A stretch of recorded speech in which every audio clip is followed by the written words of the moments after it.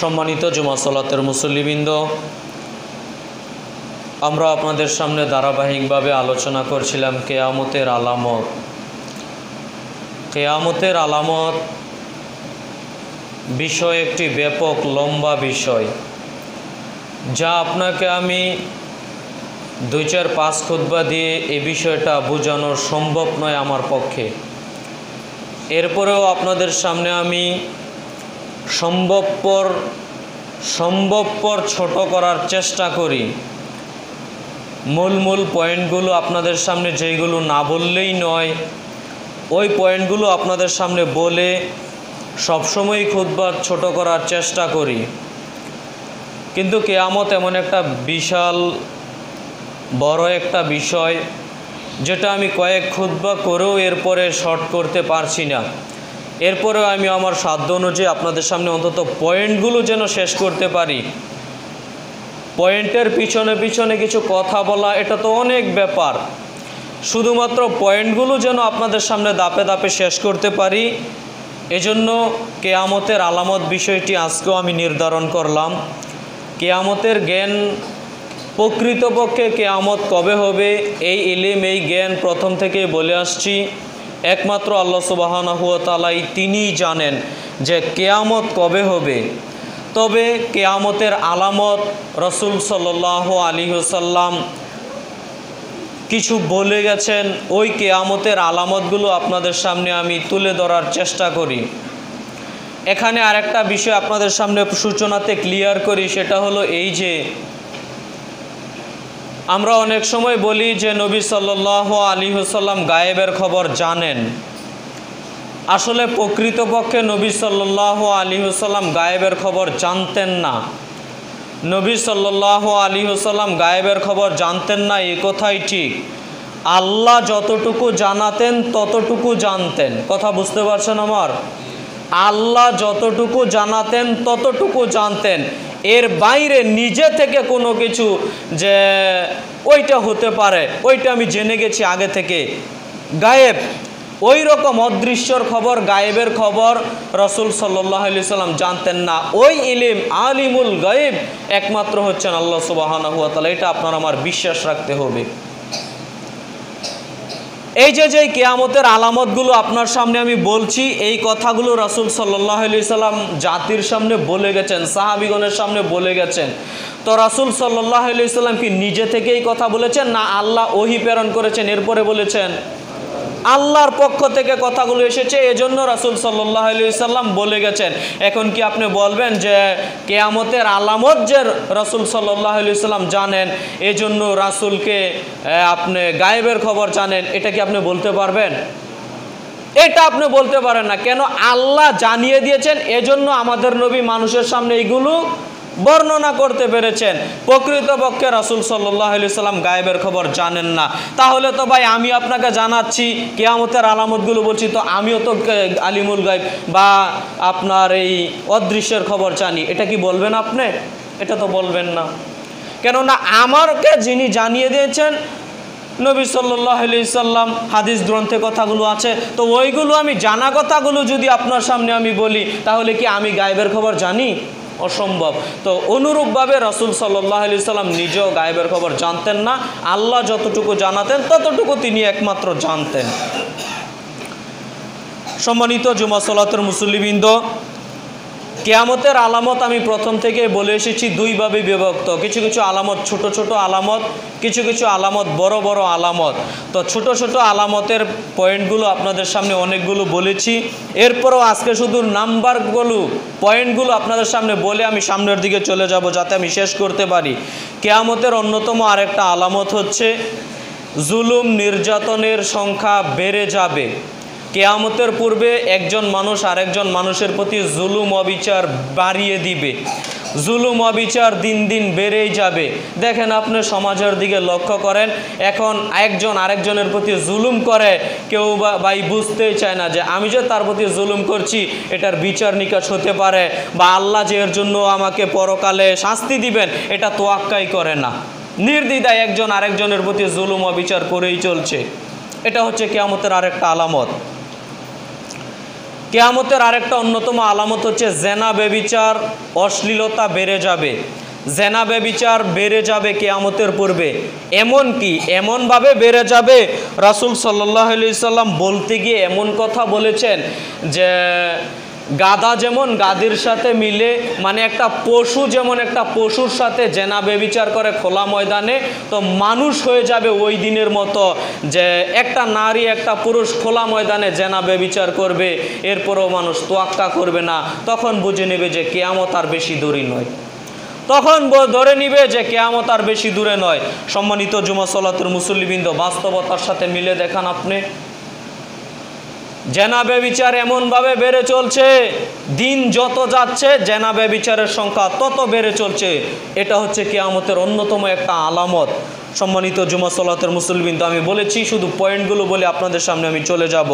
এরপরে কেয়ামতের আরেকটা আলামত হচ্ছে গান, বাজনা, বাদ্যযন্ত্র বেড়ে যাবে। গান, বাজনা, বাদ্যযন্ত্র বেড়ে যাবে।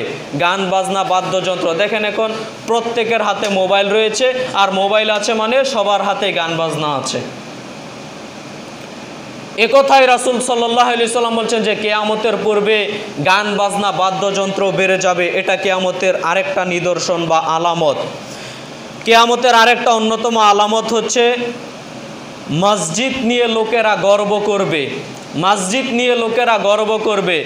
মসজিদ করবে উঁচু উঁচু তালা, বড় বড় মসজিদ করবে। টাইলস, এসি থেকে শুরু করে সব করে ফেলবে। কিন্তু মসজিদে মুসল্লি সংখ্যা কমে যাবে, মুসল্লি শূন্য হয়ে যাবে। মসজিদ হয়ে যাবে জাকজমক, কিন্তু মুসল্লি খুঁজে পাওয়া যাবে না। এটা হচ্ছে কেয়ামতের আরেকটা অন্যতম আলামত। কেয়ামতের আরেকটা অন্যতম আলামত হচ্ছে দালান কোঠা নির্মাণে মানুষ প্রতিযোগিতা করবে। বিল্ডিং নির্মাণে মানুষ প্রতিযোগিতা করবে। আরে ওই দিয়েছে দুই তালা, আমি দিব তিনতলা পাশের প্রতিবেশী দিয়েছে পাঁচতলা আমি দিব দশতলা এরকমভাবে প্রতিযোগিতা বেড়ে যাবে কেয়ামতের আলামতে। প্রত্যেকটা আলামত যেইগুলো বলছি আপনার সামনে প্রত্যেকটা সমাজে চলছে, প্রত্যেকটা আলামত সমাজে চলছে, আপনি মিলিয়ে দেখতে পারেন। কেয়ামতের আরেকটা আলামত হচ্ছে ঘন বাজার হবে, হাট বাজার ঘন হয়ে যাবে। দেখেন আপনি, ওইখানে এক বাজার, ওইখানে আরেক বাজার, ওইখানে আরেক বাজার মানে ঘন বাজার চলে আসছে, এটা হচ্ছে কেয়ামতের আরেকটা আলামত। কেয়ামতের অন্যতম আরেকটা আলামত হচ্ছে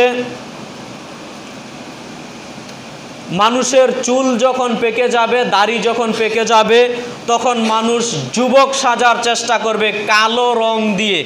কি রং দিয়ে ভাই? কালো রং দিয়ে যুবক সাজার চেষ্টা করবে। মানে বুঝতে দিবে না যে আমার যে বয়স হয়েছে, আমি যে বৃদ্ধ মানুষ। এটা হচ্ছে কেয়ামতের আলামত। এই কথাটার মধ্যে একটা কথা আপনাকে আমি বলি, শোনেন, যারা আপনার চুল কালো রং দিয়ে পাকা রং সাদা চুল কালো করে ফেলেন, কালো রং দিয়ে। দাড়ি একেবারে কালো করে ফেলেন, কালো রং দিয়ে। তাদের ব্যাপারে রসুল সাল্লাহ সাল্লাম অনেক কঠোর কথা বলেছেন, অনেক কঠোর কথা বলেছেন। তারা যদি এই কাজ করে, তারা জান্নাতে তো যাবে না যাবে না, তারা জান্নাতের গন্ধও পাবে না। আপনি আশ্চর্য বোধ করছেন? ওই ব্যক্তি জান্নাতে তো যাবে না যাবে না। নবী সাল্লাহ আলি সাল্লাম হচ্ছেন ও জান্নাতের গন্ধও পাবে না। যারা আপনার কালো মেহেদি দিয়ে, কালো রং দিয়ে আপনার সাদা চুল কালো করে ফেলে। দেখেন, প্রায় মানুষই এইগুলো করে, কোনো তোয়াক্কা করে না। অতএব মা বোনেরা উপস্থিত আছেন, আপনারা সতর্ক সাবধান থাকার চেষ্টা করবেন। দিনী ভাইয়েরা উপস্থিত আছেন মুরব্বিয়ানি কেরাম উপস্থিত আছেন। আপনারা সতর্ক সাবধান থাকেন। জীবনে যদি এরকম পাপ করে থাকেন, তাহলে আল্লাহর দরবারে কান্নাকাটি করেন তবা ইস্তেকফার করেন। যে জিন্দিগিতে আর যতদিন বেঁচে থাকি আল্লাহ, আর কোনো দিন এই ধরনের পাপে লিপ্ত হব না। তুমি আল্লাহ মাফ করো, তাহলে রক্ষা পেতে পারেন। কেয়ামতের আরেকটা অন্যতম আলামত হচ্ছে, ভূমিকম্প বেশি হয়ে যাবে। কিছুদিন আগে ভূমিকম্প, আবার হঠাৎ ভূমিকম্প, অমুক দেশে ভূমিকম্প, আবার এই দেশে ভূমিকম্প। দিন যত গনিয়ে আসবে, ভূমিকম্প, ভূমিধস তত বেড়ে যাবে। এটা হচ্ছে কেয়ামতের অন্যতম আরেকটা আলামত। কেয়ামতের আরেকটা আলামত হচ্ছে মানুষ সালাম বিনিময় করবে যাদেরকে শুধু চিনে পরিচিত লোক, পরিচিত মানুষদেরকে দেখে দেখে সালাম দিবে। ভাই, আপনাকে আমি বলে বুঝাতে পারব না। প্রত্যেকটা কথার পিছনে হাদিস রয়েছে, দলিল রয়েছে। আমি যে প্রথমে বলেছি যে বিস্তারিত বলব না, শুধু পয়েন্টগুলো আপনাকে জানিয়ে দেওয়ার জন্য বলছি। মানুষ পরিচিত মানুষকে শুধু সালাম দিবে, অপরিচিত মানুষকে সালাম দিবেন না। বাস্তবতা দেখেন যাকে আমি চিনি, তাকেই শুধু সালাম দেই। যাকে চিনি না, তাকে আপনি আমি সালাম দেওয়ার চেষ্টাও করি না। বা সালাম যে একটা নীতি, সালাম যে একটা নেকি অর্জনের মাধ্যম, সালামটা এখন ফ্যাশনের রূপ দিয়েছে। সালামটা এখন ফ্যাশনের রূপ দিয়েছে। ভাই, উনি আল্লাহওয়ালা মানুষ তাকুয়াশীল মানুষ, আমি নেকি অর্জনের উদ্দেশ্যে তাকে সালাম দিব। হ্যাঁ ঠিক আছে? কিন্তু ভাই, আপনাকে আমি কি দিয়ে বুঝাতে পারি? এখন মানুষ একটা কথার কথা আপনাকে আমি নমুনা দেখাই। অনেক হ্যান্ডসাম একটা লোক এসেছে, আপনি তাকে সম্মান জানাবেন। কি দিয়ে? সালাম দিয়ে সম্মান জানাবেন। তো সালাম দিয়ে সম্মান জানান, কিন্তু সালামটা যে আপনি ফ্যাশন হিসেবে ব্যবহার করলেন, যে তাকে সম্মান জানাতে হবে, এজন্য তাকে সালাম দিলাম। ভাই, সালাম কি সম্মান জানানোর জন্য? সালাম প্রকৃত আপনি নেকি অর্জন করবেন, আল্লাহ সন্তুষ্ট অর্জন হবে, তাকে সম্মানও জানানো হবে, ওইটাও ঠিক আছে। কিন্তু সালামটাকে আপনি এমন পর্যায়ে নিয়ে গেছেন, যাকে শুধু চিনেন, যাকে শুধু চিনেন, যার সাথে আপনার সম্পর্ক আছে, তাকে শুধু সালাম বিনিময় করেন। ব্যাপারটা ভিন্ন হয়ে যাচ্ছে না? এটা হচ্ছে কেয়ামতের অন্যতম আর একটা আলামত। কেয়ামতের আরেকটা আলামত হচ্ছে সুন্নত আমলের প্রতি মানুষের চাহিদা কমে যাবে। মানুষ সুন্নত আমল বেশি করতে চাইবে না। সুন্নত নফল আমলগুলো, যেইগুলো আমল রয়েছে, ওই আমলগুলো মানুষ করতে চাইবে না। অনেক রয়েছে। যেমন মসজিদে প্রবেশ করে দুরাকাত সলাত আদায় করতে হয়, বসার পূর্বে দুরাকাত সলাত আদায় করতে হয়। রাসুল সাল্লাহ আলি সাল্লাম এই সলাতের ব্যাপারেও বলেছেন যে, কেয়ামতের পূর্বে মানুষ এই সলাত আদায় করবে না। আজকে মসজিদে দেখেন, আরে ভাই, আশ্চর্য, আমি তো সময় সময় এই কথাটা বলি। মসজিদে প্রবেশ করে দুরাকাত সলাত আদায় করে, এরপরে মসজিদে বসতে অর্থাৎ মসজিদের হক, দাখলুল মসজিদ। এজা দাখালা আহাদুকুল মসজিদ ফালা ইয়াজলিস। আল্লাহর নবী বলছে যে, তোমাদের কোনো মানুষ মসজিদে প্রবেশ করল, সে যেন না বসে। ফালা ইয়াজলিস, সে যেন না বসে। হাত্তা ইউসল্লি রাকাতাইন কম্পকে দুরাকাত সলাত আদায়ের পূর্বে। মানে বসার পূর্বে দুরাকাত সলাত আদায় করতে হবে। আশ্চর্য, প্রায় মসজিদে দেখবেন, প্রায় মসজিদে দেখবেন যে লাল বাতি চলাকালীন অবস্থায় সুন্নত পড়া যাবে না। তো এটা কি ধর্মের সাথে তামাশা করা নয়? আল্লাহর নবী বলছেন যে কিয়ামতের আগে মানুষ এই সুন্নত আমলের প্রতি মানুষের আগ্রহ, চাহিদা কমে যাবে।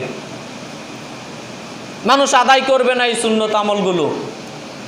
অতএব সম্মানিত জুমা সলাতের মুসল্লিবৃন্দ, এরপরে কেয়ামতের আরেকটা আলামত।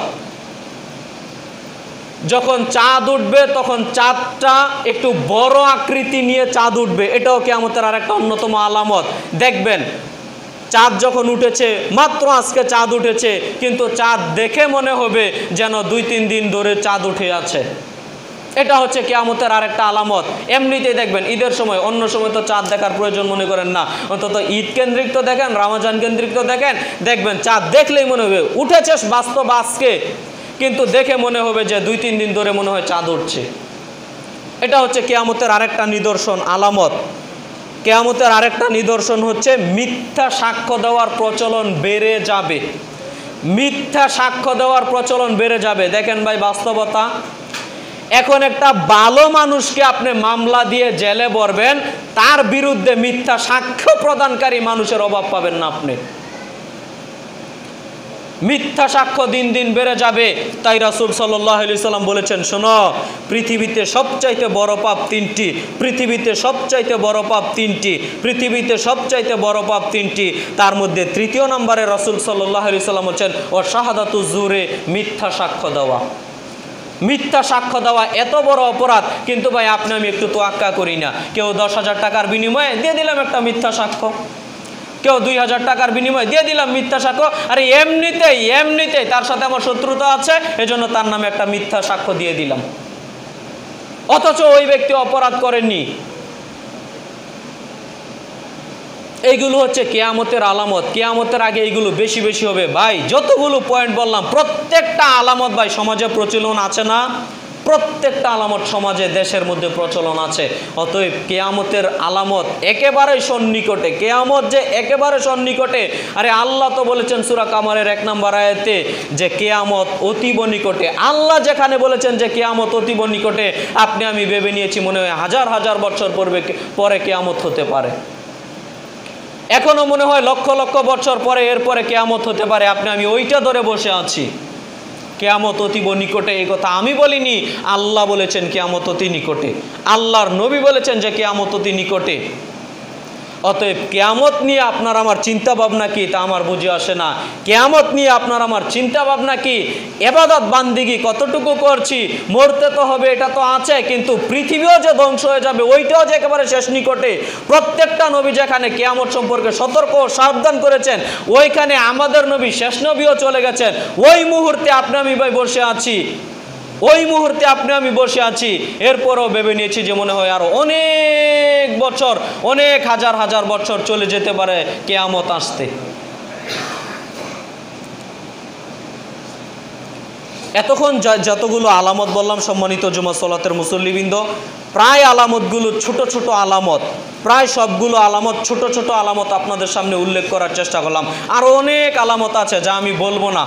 শেষ করে দিলাম। কেয়ামতের ছোট ছোট আলামত পয়েন্টগুলো বলে আমি কেয়ামতের ছোট আলামত শেষ করে দিলাম। এরপরে আপনার সামনে আরেকটু আগে বাড়ি, কেয়ামতের কিছু বড় বড় আলামত আছে।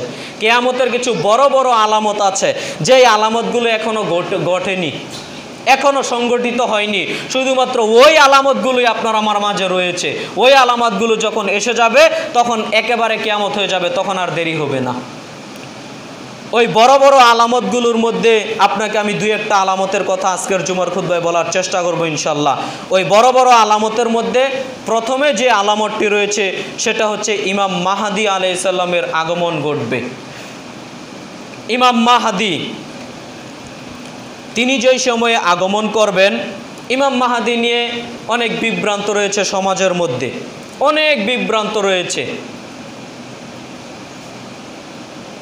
যেমন বাংলাদেশেও এরকম অনেক মানুষ আছে ভাই। কিছুদিন পর পর বলে যে আমি ইমাম মাহাদি, নিজে নিজে দাবি করে যে ইমাম মাহাদি, অথচ ইমাম মাহাদি নিজে নিজে দাবি করবে না যে আমি ইমাম মাহাদি। লোকেরা দেখে চিনে নিবে যে এ হচ্ছে ইমাম মাহাদি, কথা বুঝতে পারছেন? অথচ বাংলাদেশে বাংলাদেশে তো বসবাস করি, বাংলাদেশেই দেখা যাচ্ছে সারা পৃথিবীতে এরকম ঘটে। বাংলাদেশেও মাঝে মধ্যে দেখবেন যে দাবি করে যে আমি ইমাম মাহাদি। তারা একেবারে মিথ্যুক প্রতারক। ইমাম মাহাদি আলাইসাল্লাম আসবেন কেয়ামতের পূর্বে। তিনি যখন আসবেন, তিনি পৃথিবীতে মোট সাত বছর অবস্থান করবেন। সাত বছর তিনি অবস্থান করবেন। তবে ইমাম মাহাদির পরিচয়টা আপনার আমার জানা একান্তভাবে জরুরি। রসুল সাল্লাহ সাল্লাম বলেছেন যে ইমাম মাহাদি আলাইসাল্লামের পরিচয়ের ব্যাপারে রসুল সাল্লাহ সাল্লাম বলেছেন যে মাহাদি হবে আমার বংশের। ইমাম মাহাদি হবে আমার বংশের। নবীজি নিজে বলছেন যে ইমাম মাহাদি হবে আমার বংশের, কোরাইশি বংশের হবে ইমাম মাহাদি। এরপরে রাসুল সাল্লাহ সাল্লাম বলছেন যে ওই সময়ে ইমাম মাহাদি যখন আগমন করবে, ইমাম মাহাদির নাম হবে আমার নামে নাম। অর্থাৎ আমার নাম মোহাম্মদ, ইমাম মাহাদির নামও হবে মোহাম্মদ। ইমাম মাহাদির পিতার নাম থাকবে আবদুল্লাহ, আমার পিতার নামের নাম। অর্থাৎ আমার পিতার নাম আবদুল্লাহ, ইমাম মাহাদি যিনি আসবেন, তার পিতার নামও থাকবে আবদুল্লাহ সুবাহান আল্লাহ ইমাম মাহাদি যখন আসবেন, তিনি পৃথিবীতে মোট সাত বছর অবস্থান করবেন এবং তিনি থাকা অবস্থাতে যত জুলুম আছে, অবিচার আছে, অন্যায় আছে সব থেকে তিনি আপনার ন্যায় ইনসাফ দ্বারা পরিপূর্ণ করে ফেলবেন পুরো দেশটা, পুরো পৃথিবীটা। ইমাম মাহাদি যখন আসবেন, তখন শান্তি বিরাজ করবে। তখন আর মানুষ একজন আরেকজনের প্রতি জুলুম করতে পারবে না। ইমাম মাহাদি যখন আসবে, ওই যুগটা হবে সোনালি যুগ। ইমাম মাহাদির সময় সব মানুষ পরহেজগার হয়ে যাবে, যারা কাফের, বেঈমান, মুশরেক, তারা এক পর্যায়ে শেষ হয়ে যাবে। একেবারে ভালো একটা সমাজ, জুলুম, অবিচার থেকে মুক্ত সমাজ রূপান্তর করবে সারা পৃথিবীতে। ইমাম মাহাদির শেষ সময়ে আবার আসবেন দাজ্জাল। আবার ফেতনা ফাসাদ শুরু হয়ে যাবে। ইমাম মাহাদির শেষ সময়ে আবার আসবেন দাজ্জাল। দাজ্জালের ব্যাপারে আপনার সামনে আমি কয়েকটা জরুরি কথা বলে আজকের জুমার খুতবা শেষ করে দেওয়ার চেষ্টা করব। দাজ্জাল। দাজ্জালের ব্যাপারে আরেকটা কথা আপনাকে আমি বলি। কিয়ামতের আলামত কেয়ামত যে সংগঠিত হবে, এইটা যেরকম প্রত্যেকটা নবী ও রাসুলগণ জাতির সামনে, উম্মতগণের সামনে বলে গেছেন যে তোমরা সতর্ক ও সাবধান থাকো। কেয়ামত অচিরেই হয়ে যাবে। প্রত্যেকটা উম্মত তার উম্মতদেরকে নবী, তার উম্মতদেরকে সতর্ক সাবধান করেছেন। তোমরা সতর্ক সাবধান থাকো, কেয়ামত অতীব নিকটে। কিন্তু এই দাজ্জাল সম্পর্ক প্রত্যেকটা নবী তার উম্মতকে সতর্ক করেছেন যে দাজ্জাল একজন আসবে। তোমরা সতর্ক ও সাবধান থাকো। দাজ্জাল একজন আসবে, তোমরা সতর্ক ও সাবধান থাকো। দাজ্জালের ফেতনা বড় ভয়াবহ, তোমরা সতর্ক ও সাবধান থাকো। প্রত্যেকটা নবী প্রত্যেকটা নবী তার উম্মতকে সতর্ক সাবধান করেছেন। তবে আপনাকে আমি কি দিয়ে বুঝাতে পারি? কত গুরুত্বপূর্ণ, কত ফেতনা হলে মানে পৃথিবীর সৃষ্টি থেকে কেয়ামত পর্যন্ত, পৃথিবীর সৃষ্টি থেকে কেয়ামত পর্যন্ত দাজ্জালের ফেতনার চেয়ে বড় ফেতনার কখনো আসেনি, আসবেও না। দাজ্জালের ফেতনা এত ভয়াবহ এত ভয়াবহ মানুষের জন্য, ইমানদারের জন্য, মানুষের জন্য এত ভয়াবহ দাজ্জালের ফেতনা। পৃথিবীর সৃষ্টি থেকে কেয়ামত পর্যন্ত এই সময়ের মধ্যে দাজ্জালের ফেতনার চেয়ে ভয়াবহ আর কোনো ফেতনা আসেনি, আসবেও না। প্রত্যেকটা নবী তার উম্মতকে বলেছেন, শোনো, দাজ্জাল আসবে, দাজ্জাল সম্পর্কে সতর্ক থাকো, দাজ্জাল থেকে বাঁচার জন্য আল্লাহর নিকট দোয়া করো। প্রত্যেকটা নবী রাসুলগণ তার উম্মতগণকে বলেছেন। কাজেই সম্মানিত জুমাসলাতের মুসল্লিবৃন্দ, দাজ্জালের কিছু বৈশিষ্ট্য, দাজ্জালের পরিচয় আপনার সামনে আমি একটু দেওয়ার চেষ্টা করি। দেখেন, দাজ্জালের আকার আকৃতি সম্পর্কে রসুল সাল্লাহ আলি সাল্লাম বলেছেন, দাজ্জাল হবে একজন যুবক মানুষ। দাজ্জাল যিনি একজন ব্যক্তি, মনে রাখবেন, এখন আপনার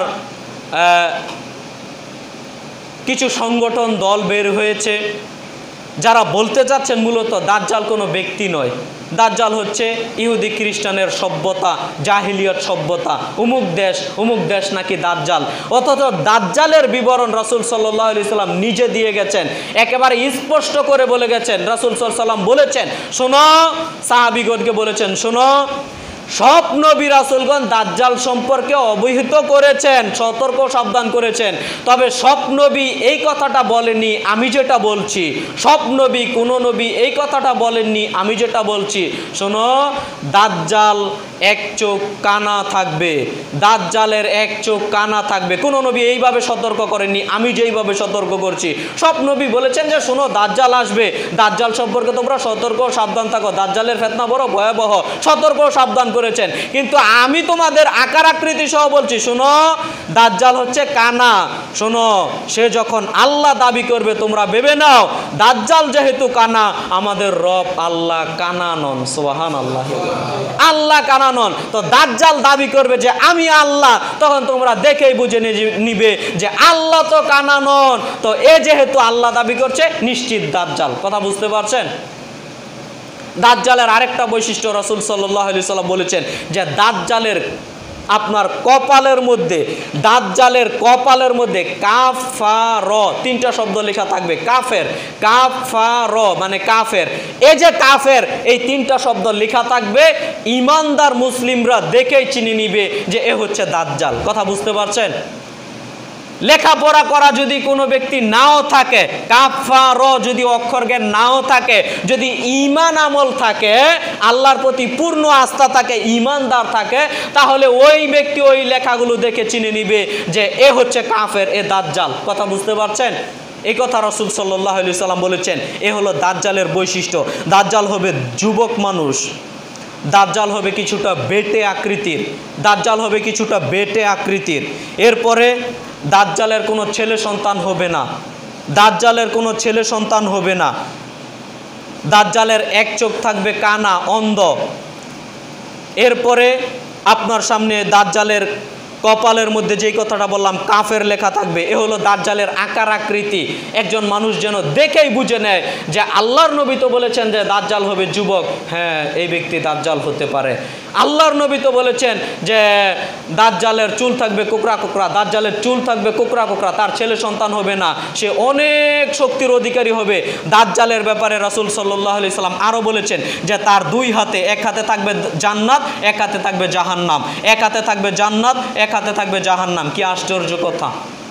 দাজ্জালকে আল্লাহ এত ক্ষমতা দিয়ে রাখবেন, দাজ্জালকে আল্লাহ এত ক্ষমতা দিয়ে রাখবেন, দাজ্জালকে আল্লাহ এত ক্ষমতা দিয়ে রাখবেন। ছেলেকে বলবেন, কিছু যুবককে বলবেন, যুবক, আমি আল্লাহ বিশ্বাস করো? জি আমি, তোমাকে আল্লাহ বিশ্বাস করি না। তখন বলবে, তোমার পিতামাতাকে যদি কবর থেকে তুলে দেখাতে পারি, তখন বিশ্বাস করো?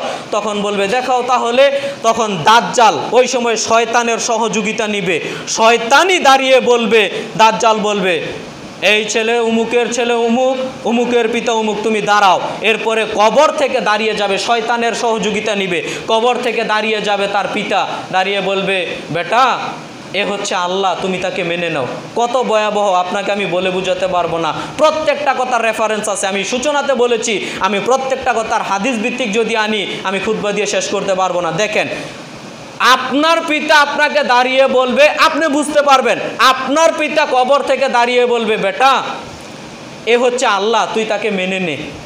আপনার পিতা দাঁড়িয়ে, বলেন, কি করবেন? কত কঠিন পরীক্ষা? তো ওই সময় অনেকে ইমান আনবে দাজ্জালের প্রতি, আর কিছু মানুষের যাদের ইমান মজবুত, তারা বুঝে নিবে, না না না, এটা কখনো আল্লাহ হতে পারে না, এ নিশ্চিত কাফের।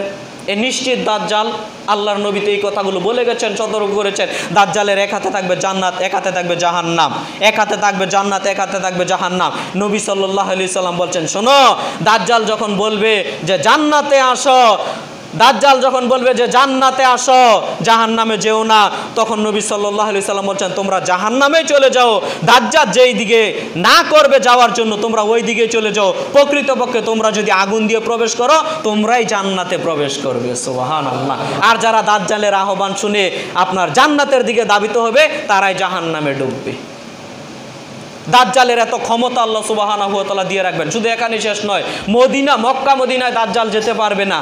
মক্কা মদিনায় যেতে পারবে না। দাজ্জাল মোট অবস্থান করবে চল্লিশ দিন। কয়দিন? দাজ্জাল পৃথিবীতে কয়দিন অবস্থান করবেন? চল্লিশ দিন অবস্থান করবেন।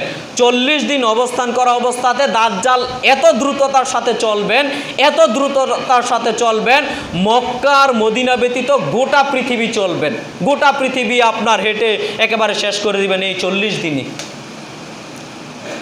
মক্কা মদিনায় যেতে পারবেন না। ওইখানেও যেতে চাইবেন, কিন্তু আপনার ফেরেস তারা আটকে দিবেন। মক্কা মদিনায় তারা প্রবেশ করতে পারবে না দাজ্জাল প্রবেশ করতে পারবে না। সম্মানিত জুমাসলাতের মুসল্লিবৃন্দ, তো দাজ্জাল মক্কা মদিনার বাহিরে একজন ইমানদার যুবককে ডাকবেন। যুবককে ডেকে বলবেন, আমাকে আল্লাহ মানো। তখন যুবক বলবে, তোমাকে আল্লাহ মানবো না। তুমি দাজ্জাল।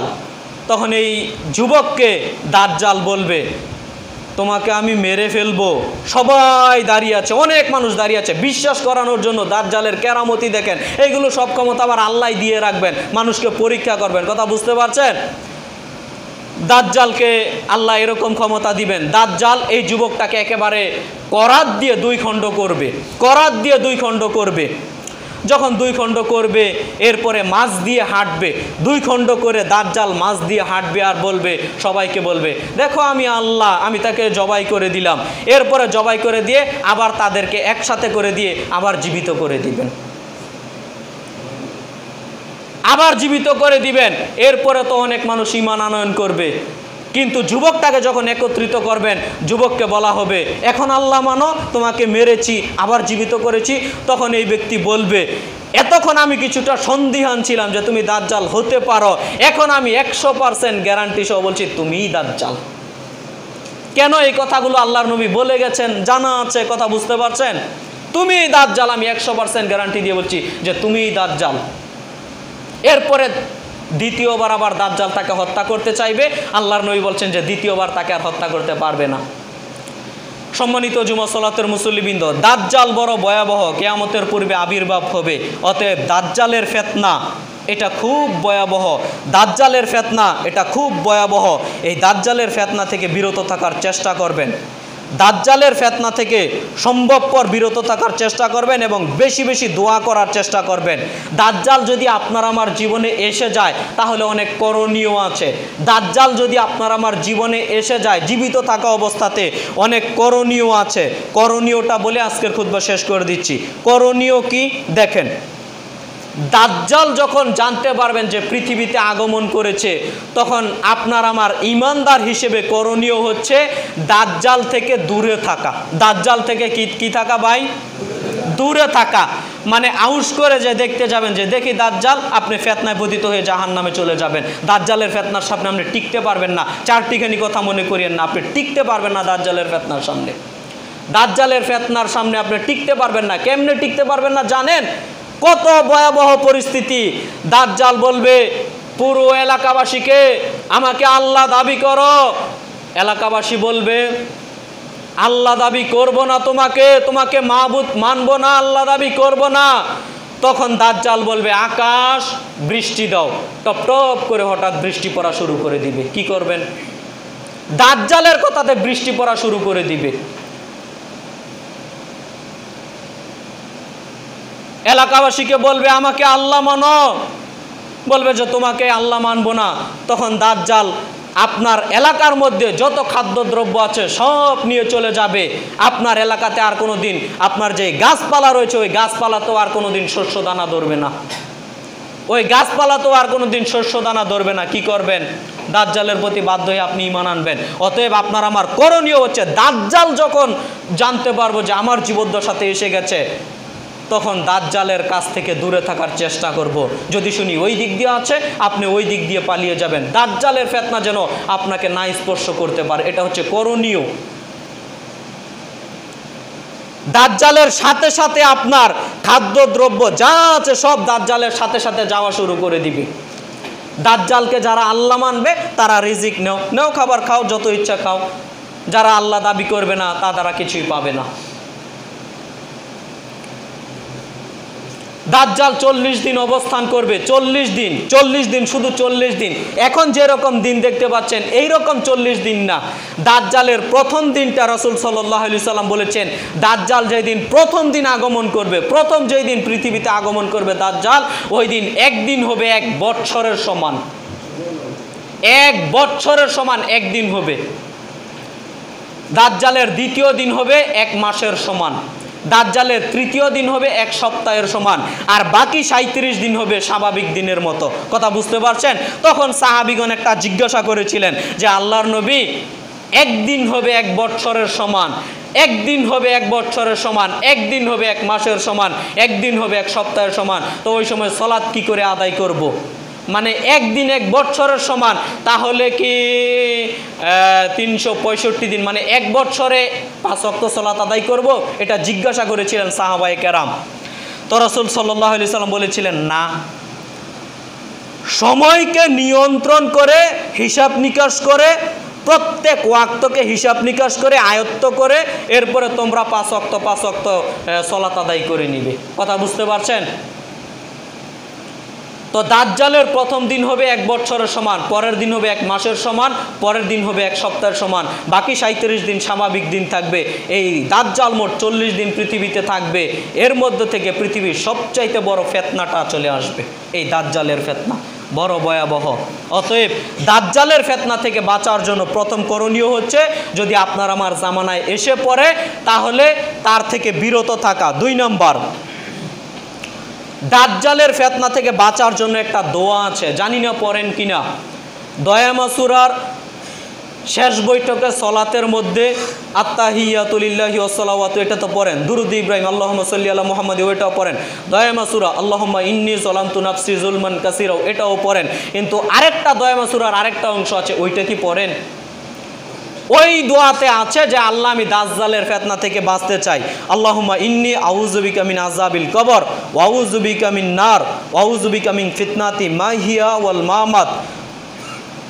অমিন ফিতনাতি মাসিহিদ দাজ্জাল। এই যে মাসিহিদ দাজ্জাল মানে আল্লাহ তুমি কানা দাজ্জাল, দাজ্জালের ফেতনা থেকে তুমি রক্ষা করো। এই দাজ্জালের ফেতনা থেকে ভাই বাঁচার চেষ্টা করবেন মাসিহিদ দাজ্জাল।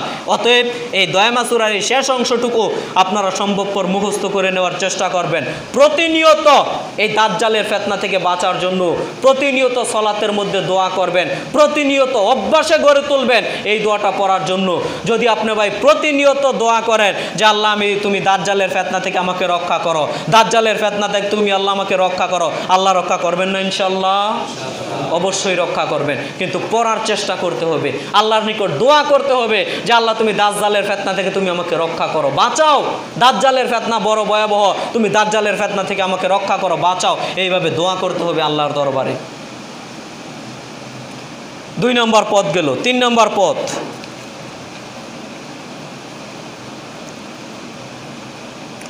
রসুল সাল্লাহ আলী সাল্লাম বলেছেন, যেই ব্যক্তি পবিত্র কোরআনুল কারিমের আঠারো নম্বর একটা সুরা আছে, সুরা কাহাফ। কি সুরা বললাম? সুরা কাহাফ, আঠারো নম্বর সুরা। আরেকটা আছে কফ, পঞ্চাশ নম্বর সুরা। ওইটা না, আঠারো নম্বর সুরা সুরা কাহাফের প্রথম দশটি আয়াত যেই ব্যক্তি মুখস্থ করতে পারবে, প্রথম দশটি আয়াত যে ব্যক্তি মুখস্থ করতে পারবে, রাসুল সাল্লাহ সাল্লাম বলছেন যে, ওই ব্যক্তিকে আল্লাহ দাজ্জালের ফেতনা থেকে মুক্ত করে দিবেন। সোবাহান দাজ্জালের ফেতনা বড় ভয়াবহ। এই সুরা কাহাফের প্রথম দশটি আয়াত ভাই মুখস্থ করে নেওয়ার চেষ্টা করবেন। প্রথম দশটি আয়াত, সুরা কাহাফের আঠারো নাম্বার সুরা। আঠারো নাম্বার সুরা সুরা কাহাফের প্রথম দশটি আয়াত মুখস্থ করে নেওয়ার চেষ্টা করবেন। যদি আপনি মুখস্থ করেন আর নিয়মিত পাঠ করেন, তাহলে আল্লাহ সুবাহানা হুয়া তালা এই দাজ্জালের ফেতনা থেকে আপনাকে রক্ষা করে দিবেন ইনশাল্লাহ সম্মানিত জুমা সলাতের মুসল্লিবৃন্দ, এরপরে দাজ্জালের ফেতনা সম্পর্কে আপনাকে আমি যতটুকু বলেছি, এই দাজ্জালের ফেতনা তো বড় ভয়াবহ। এই দাজ্জালের ফেদনা থেকে এমনিতেই যদি মনে করেন যে আমি আরবিতে ওই দোয়াটা পারি না, নিজের জন্য যখন দোয়া করেন, দুইটা হাত তুলে আল্লাহকে শুধু বাংলাতে বলবেন যে, আল্লাহ, তুমি দাজ্জালের ফেতনা থেকে আমাকে রক্ষা করো। আমার পরিবারকে দাজ্জালের ফেতনা থেকে রক্ষা করো। আমার, আপনি বলছেন যে, দাজ্জাল তো এখনও আসেনি, দোয়া করব। আরে ভাই, আদম আলাইসাল্লাম তার উম্মতকে বলেছেন যে, তোমরা দাজ্জালের ফেতনা থেকে পরিত্রাণ চাও। কথা বুঝতে পারেননি? নুয়া আলাইসাল্লাম বলেছেন, তার উম্মতকে তোমরা দাজ্জালের ফেতনা থেকে পরিত্রাণ চাও, আল্লাহর নিকট দোয়া করো। মুসা আলাইসাল্লাম বলেছেন, তার উম্মতকে যে তোমরা দাজ্জালের ফেতনা থেকে বিরত থাকো, বেঁচে থাকার চেষ্টা করো, আল্লাহর নিকট দোয়া করো, আল্লাহ যেন দাজ্জালের ফেতনা থেকে রক্ষা করে। আপনি আমি শেষ নবীর উম্মত, আপনাকে আমি বলছি যে দাজ্জালের ফেতনা থেকে একটু বাঁচার জন্য দোয়া করেন। আপনি ভেবে নিয়েছেন দাজ্জাল তো এখনও আসেনি। অতএব, দাজ্জালের ফেতনা থেকে পরিত্রাণের জন্য বেশি বেশি দোয়া করবেন। আর যে পরিত্রাণের যে উপায়গুলো বললাম, দোয়াটা মুখস্থ করবেন। এরপরে আপনার যে সুরা সুরা কাফের দশটি আয়াত, এই দশটি আয়াত মুখস্থ করে নেওয়ার চেষ্টা করবেন। আল্লাহ তালা আপনাকে আমাকে তৌফিক দান করুক। আল্লাহ মামিন এরপরে দাজ্জালের মৃত্যু ঘটবে, সেটা হচ্ছে ঈসা আলাইসাল্লামের মাধ্যমে। ঈসা আলাইসাল্লাম আসমানে আছেন। ঈসা আলাইসাল্লামকে আল্লাহ আবার প্রেরণ করবেন। ঈসা আলাইসাল্লামকে দেখেই দাজ্জাল রসুল সাল্লাহ আলি সাল্লাম বলছেন যে, পানিতে লবণ দিলে লবণ যেরকম গলে যায়, ঈসা আলাহ সাল্লামকে দেখেই দাজ্জাল গলে যাবে। সোবাহান আল্লাহ এরপরে ঈসা আলাহ সাল্লাম দাজ্জালকে বল্লমের মাধ্যমে আঘাত করে দাজ্জালকে হত্যা করবেন। সোবাহান আল্লাহ অতএব সম্মানিত জুমা সলাতের মুসল্লিবৃন্দ, আমরা কেয়ামতের আলামত এ পর্যন্তই আজকের দাপ রেখে দিলাম। আমরা যে বিষয়গুলো বললাম, উক্ত বিষয়ের প্রতি আমরা যেন সঠিক বুঝে, জেনে বুঝে আমল করতে পারি, কেয়ামতের আলামতগুলো জেনে যেন আমরা পরকালকে প্রাধান্য দিয়ে এখন থেকে জীবনটাকে সুন্দর করে পরিচালনা করতে পারি। আল্লাহ তুমি সেই তৌফিক দান করো। আল্লাহ আমিন। আল্লাহ সাল্লি আলহি আল্লাহ বারিক।